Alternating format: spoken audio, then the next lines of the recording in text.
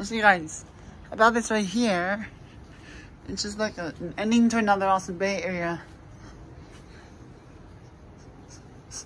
sunset. Um, I think there's like a plane over there. And by here.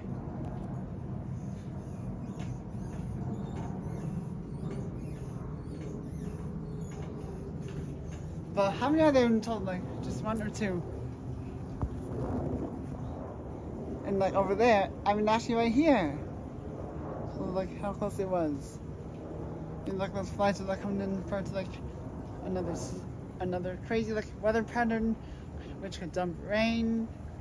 Anyways, I want to have to actually see what happens next and just take it from there.